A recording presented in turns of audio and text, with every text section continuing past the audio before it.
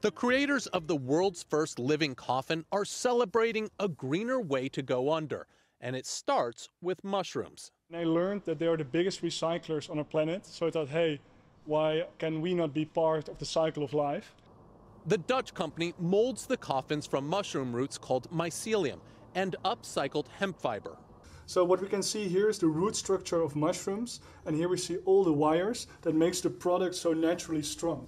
Um, so here you have a piece of mushroom, and this is, this is really hard. It takes seven days to grow a compost coffin, and once buried, only 45 to break down. A layer of moss sourced from a local farm lines the interior.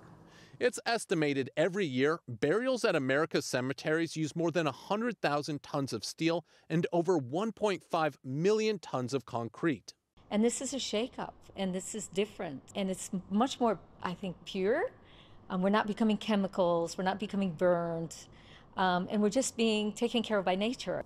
For those preferring cremation, there's a mushroom urn that's buried with a sapling sticking out. So when it decomposes, the ashes feed the tree, continuing the circle of life.